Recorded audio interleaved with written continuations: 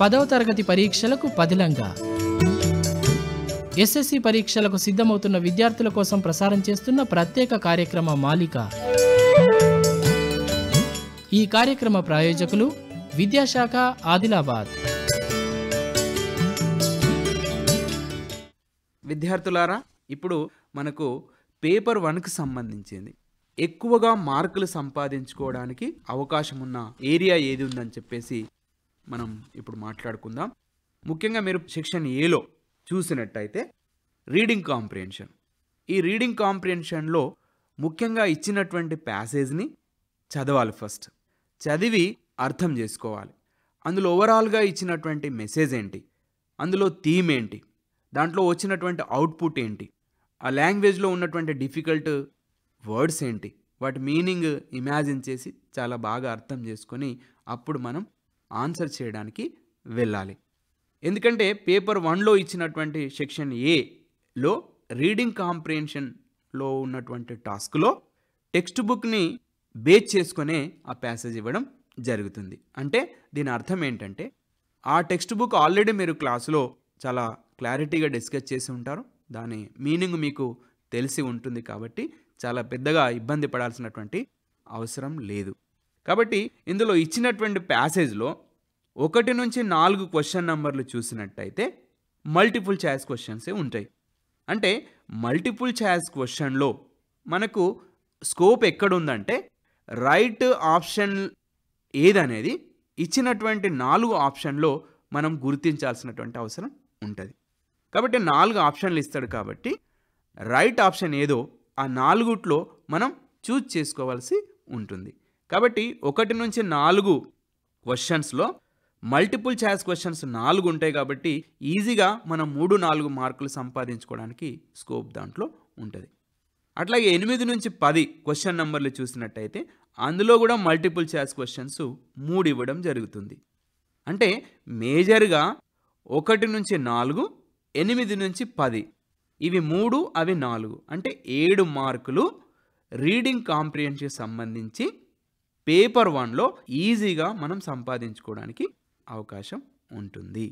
అట్లాగే పేపర్ వన్లో సెక్షన్ బికి సంబంధించి వొకాబులరీ అండ్ గ్రామర్లో చూస్తే మొత్తం పది మార్కులు ఉంటుంది. అందులో పేపర్ వన్కి సంబంధించి పద్దెనిమిది నుంచి ఇరవై రెండు చూసినట్టయితే చూస్ ద రైట్ వర్డ్స్ అన్నారు. అంటే వర్డ్స్ ఇవ్వడం జరుగుతుంది. ఆ వర్డ్స్ ఇస్తారు కాబట్టి రైట్ వర్డ్ ఏదో ఇచ్చినటువంటి బ్రాకెట్లో ఉన్నటువంటిది రైట్ వర్డ్ ఏదో మనం చూజ్ చేసుకుని రాయగలిగితే ఐదు అలాంటి ఇస్తారు. చూస్ ద రైట్ వర్డ్స్లో. ఐదు అంటే ఒక్కొక్కటి హాఫ్ మార్క్ ఉంటుంది. మొత్తం రెండున్నర మార్కులు మనం పేపర్ వన్లో ఈజీగా సంపాదించుకోవడానికి అవకాశం ఉంటుంది. అందులో ఏడు మార్కులు తర్వాత సెక్షన్ టూలో రెండున్నర మార్కులు ఈజీగా మనం సంపాదించుకోవడానికి అవకాశం ఉంటుంది. అట్లాగే పేపర్ వన్కు సంబంధించి చూసినట్లయితే డిస్కోర్సెస్. మేజర్ డిస్కోర్సెస్లో పేపర్ వన్కి సంబంధించినటువంటిది మనం ఇందాక మాట్లాడుకున్నాం. Conversation story narrative description. ఇందులో చాలా కన్వర్జేషన్ సంబంధించింది కానీ స్టోరీ కానీ నెరేటివ్ కానీ డిస్క్రిప్షన్ కానీ చాలా బాగా రాయగలిగితే కన్వర్జేషన్ ఎట్లా డెవలప్ చేయాలి స్టోరీని ఎట్లా డెవలప్ చేయాలి డిస్క్రిప్షన్ ఎట్లా రాయాలి ఇది మొత్తం కూడా మన టెక్స్ట్ బుక్లో ఇచ్చినటువంటి కాంటెక్స్ట్ని బేస్ చేసుకొని ఇవ్వడం జరుగుతుంది కాబట్టి కన్వర్జేషన్ని మనం ఈజీగా డెవలప్ చేయడానికి అవకాశం ఉంటుంది. అంటే మేజర్ డిస్కోర్సెస్లో పేపర్ వన్కి సంబంధించి ఈజీగా మనం వస్తే అంటే కన్వర్జేషను స్టోరీ నెరేటివ్ డిస్క్రిప్షను చాలా ఎక్కువగా మనం మార్కులు సంపాదించుకోవడానికి అవకాశం ఉంటుంది. అట్లాగే పేపర్ వన్లో మైనర్ డిస్కోర్సెస్ చూసినట్టయితే మెసేజ్ నోటీస్ చాలా ఈజీగా రావడానికి అవకాశం ఉంది ఎక్కువ మేజర్గా అడిగేటటువంటివి మెసేజ్ నోటీసు అంటే విద్యార్థులారా మనం గమనించాల్సినటువంటి అంశం ఏంటంటే సెక్షన్ ఏలో రీడింగ్ కాంప్రిహెన్షన్లో మొత్తము ఏడు మల్టిపుల్ ఛాయిస్ క్వశ్చన్స్ ఇవ్వడం జరుగుతుంది.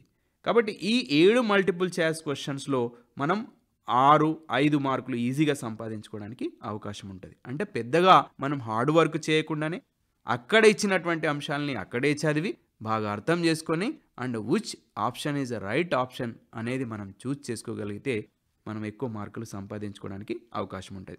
అట్లాగే బి సెక్షను తర్వాత సి సెక్షన్లో ముఖ్యంగా మేజర్ డిస్కోర్సెస్లో కన్వర్జేషన్ స్టోరీ నెరేటివ్ డిస్క్రిప్షన్ ఇవి మూడు. అట్లాగే పేపర్ వన్లో మైనర్ డిస్కోర్సెస్ మెసేజ్ నోటీసు ఇవి చాలా ఈజీగా ఉన్నటువంటి అంశాలు కాబట్టి అంటే మొత్తం పేపర్ వన్లో మనం ఈజీగా స్కోప్ చేసే అవకాశం ఏది ఉందంటే ఐదు మార్కులు మెసేజ్ నోటీసు అట్లాగే కన్వర్జేషన్ సంబంధించిన పది. అంటే ఇవి పదిహేను మార్కులు ఇవి రెండున్నర పదిహేడున్నర ఇవి ఏడు. అంటే దాదాపు ఇరవై నాలుగు ఇరవై ఐదు మార్కులు మనం చాలా అంటే ఎక్కువ హార్డ్ వర్క్ చేసే స్ట్రెయిన్ కాకుండా చాలా ఈజీగా సంపాదించుకోవడానికి స్కోప్ ఉన్నటువంటి అవకాశం. కాబట్టి విద్యార్థులు మల్టిపుల్ ఛాయిస్ మీద తర్వాత చూస్ ద రైట్ వర్డ్స్ మీద మేజర్ డిస్కోర్సెస్ తర్వాత మైనర్ డిస్కోర్సెస్ పేపర్కి వన్కి సంబంధించినటువంటి కొంత ఎక్సర్సైజ్ చేయగలిగితే చాలా ఎక్కువ స్కోప్ ఉన్నటువంటి అవకాశం ఉంటుంది. కాబట్టి విద్యార్థులు గమనించి మరి ఇచ్చినటువంటి ప్యాసేజ్ని బాగా చదివి అర్థం చేసుకొని మల్టిపుల్ ఛాయిస్ ఆప్షన్స్ తర్వాత చూస్ ద రైట్ వర్డ్స్ తర్వాత major and minor discourses paper సంబంధించింది బాగా చేసి తర్వాత ఇరవై నాలుగు ఇరవై ఐదు మార్కులు ఎక్కువ హార్డ్ వర్క్ చేయకుండానే సంపాదించుకోవడానికి అవకాశం ఉంటుంది. కాబట్టి విద్యార్థులు గమనించి మరి పేపర్ వన్లో ఇచ్చినటువంటి ఆయా సెక్షన్ల మీద కొంత అవగాహన కలిగించుకొని మరి కొంత లాంగ్వేజ్ మీద పట్టు గ్రామర్ మీద పట్టు తర్వాత రీడింగ్ మీద మంచి గ్రిప్పు సంపాదించుకొని ఎక్కువ మార్కులు మరి పొందడానికి అవకాశం ఉంటుంది కాబట్టి విద్యార్థులు ఈ ఆయా అంశాల మీద కొంత శ్రద్ధ పెట్టి మరి ఎప్పటికప్పుడు టీచర్లతో డిస్కస్ చేస్తూ మరి మంచి మార్కులు సంపాదించాలని చెప్పేసి కోరుతా ఉన్నాం. ఇందులో మైనర్ డిస్కోర్సెస్ సంబంధించి చూసినట్టయితే పేపర్ వన్లో మెసేజ్ నోటీస్ మనం ఇంతకాక ఒక మెసేజ్ కూడా చూడడం జరిగింది ఎగ్జాంపుల్గా ఇచ్చినటువంటి మెసేజ్ ఏంటి? తర్వాత మనం ఎవరికి పంపుతున్నాం? తర్వాత డేటు మనం రాయాల్సినటువంటి సబ్జెక్టు చాలా క్లారిటీగా మనం ఇవ్వాల్సి ఉంటుంది. తర్వాత ఎవరు ఆ మెసేజ్ని సెండ్ చేస్తున్నారు అది కూడా అవసరం ఉంటుంది. తర్వాత నోటీస్ అయితే ఇచ్చినటువంటి నోటీస్ ఏంటి?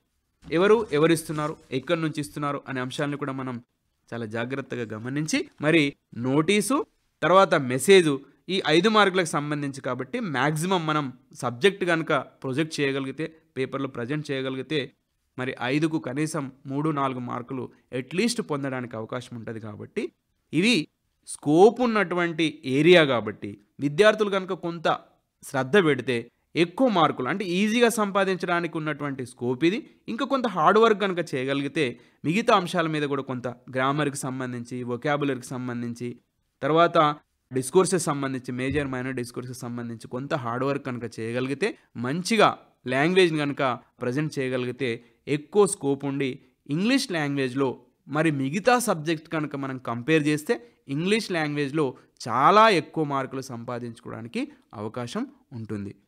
కాబట్టి విద్యార్థులు గమనించి మరి ఈ అంశాల మీద తగు జాగ్రత్తగా కొంత ఎక్సర్సైజ్ చేసి కొంత అవగాహనకు వచ్చి మరి టీచర్లతో ఎప్పటికప్పుడు మరి వాళ్ళకు ఉన్నటువంటి అంశాల మీద క్లారిటీ తెచ్చుకొని వాళ్ళ డౌట్స్ని వాళ్ళు క్లారిటీ తెచ్చుకొని మంచిగా పేపర్ని రాయగలిగితే పేపర్ వన్లో మేజర్గా మనకు ఇరవై నాలుగు ఇరవై ఐదు మార్కులు ఈజీగా వచ్చే అవకాశం ఉంటుంది. పేపర్ వన్లో మైనర్ డిస్కోర్సెస్ గ్రూప్ ఏకి సంబంధించి చూసినట్టయితే మెసేజ్ నోటీస్. ఇందులో మెసేజ్కి సంబంధించినటువంటిది ఒక ఎగ్జాంపుల్. మనం తప్పనిసరిగా డేటు తర్వాత శాల్యుటేషను తర్వాత టైం కూడా మేజర్గా రాయాల్సి ఉంటుంది. మంచిగా లేఅవుట్ వేసి ఫర్ ఎగ్జాంపుల్ ఒకటి నేను మెసేజ్ ఇక్కడ చదువుతా గమనించాలి. Dear Bayaji I visited your house today you are not there a caution to you it is not good for you to aspire an equal status with us I came to know that you are planning to construct a new storied house. You should know your social status. We have no objection if you can have a small house to live in with your family members. You may go in for a storied house only if you do not wish to stay in this village. Hope you can understand me well. కోండిబా Patil ఇది మెసేజ్కి సంబంధించిన answer కాబట్టి ఇచ్చినటువంటి మెసేజ్ని ఇన్ఫర్మేషన్ని base చేసుకొని చాలా చక్కగా ఈ రకంగా మనం ఒక ఎగ్జాంపుల్ చూడడం జరిగింది. మెసేజ్ ఫస్ట్ డేట్ మెన్షన్ చేయడము టైము తర్వాత salutation for example dear Bayaji. అట్లా మనం ఇచ్చినటువంటి డీటెయిల్స్ చాలా బాగా రాసి కిందరు ఎవరు ఇచ్చారో కోండిబా పాటిల్ అనేది మనం మెన్షన్ చేయడం జరిగింది. ఈ రకంగా మెసేజ్ని మనం చాలా బాగా ప్రజెంట్ చేయగలిగితే ఖచ్చితంగా ఇందులో ఐదు మార్కులకు నాలుగు మార్కులు మ్యాక్సిమం మూడు నుంచి నాలుగు మార్కులు పొందడానికి అవకాశం ఉంటుంది. తర్వాత గ్రామర్గా చూసుకొని పాయింట్స్ అన్నీ కూడా కోహెసివ్గా ఒక్కొక్క దానికి రిలేటివ్గా ఉండి ఇచ్చినటువంటి సెంటెన్సెస్ని సబ్జెక్ట్స్ని మంచి ఒకదానికొకటి సంబంధం ఉండే సెంటెన్సెస్ రాయగలిగితే ఈజీగా మనం మెసేజ్ కానీ నోటీస్ కానీ మ్యాక్సిమం ఐదు మార్కులలో మూడు నాలుగు మార్కులు పొందడానికి అవకాశం ఉంటుంది. కాబట్టి ఈ అవకాశాన్ని మిస్ చేసుకోకుండా మెసేజ్ కానీ నోటీస్ కానీ పేపర్ వన్లో ఇచ్చినటువంటి మైనర్ డిస్కోర్సెస్ మీద కొంత కాన్సన్ట్రేషన్ చేసి సబ్జెక్ట్ని బేస్ చేసుకొని ఇచ్చినటువంటి అంశాన్ని చాలా బాగా రాయగలిగితే ఇందులో మూడు నాలుగు మార్కులు స్కోప్ చేయడానికి అవకాశం ఉంటుంది. కాబట్టి విద్యార్థులారా మరి పేపర్ వన్లో ఇచ్చినటువంటి మైనర్ డిస్కోర్సెస్లో మెసేజ్ నోటీస్ని ఎక్కువ కాన్సన్ట్రేట్ చేస్తే ఎక్కువ అడగడానికి అవకాశం ఉంటుంది. కాబట్టి మార్కులు పొందడానికి వీలుంటుంది. కాబట్టి విద్యార్థులు గమనించి మరి మైనర్ డిస్కోర్సెస్ మీదుగా మనం శ్రద్ధ పెడితే మార్కులు ఎక్కువ స్కోప్ చేయడానికి వీలుంటుంది. ఇది గమనించాలని చెప్పేసి కోరుతా ఉన్నాం.